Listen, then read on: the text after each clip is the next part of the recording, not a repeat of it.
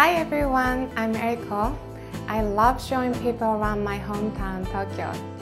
Tokyo is all about contrast from cutting-edge technology, Zen garden, to ancient temples.